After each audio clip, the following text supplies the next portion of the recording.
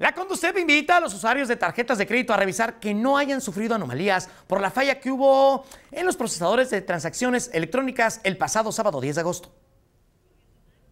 El 10 de agosto ocurrió una falla en uno de los procesadores de transacciones electrónicas o cámaras de compensación de pagos con tarjeta. En todo el país, nadie pudo sacar dinero de los cajeros automáticos ni pagar con tarjeta de crédito o débito se tuvo problemas con la empresa Prosa. Eh, la empresa Prosa es la que se encarga de realizar los pagos, así, así también como se encarga de recabar todos los vouchers de compra.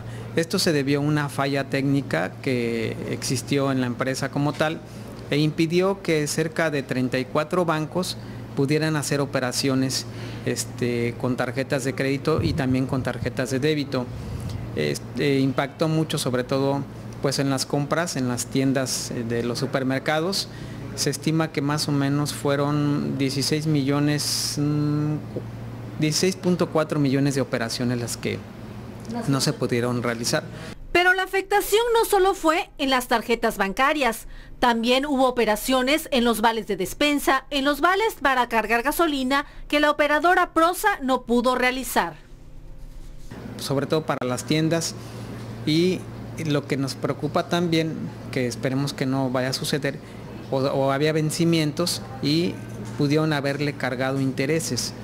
La Conducef pide a los usuarios que chequen sus estados de cuenta para que el banco no les cobre comisiones por pagos no realizados ese día.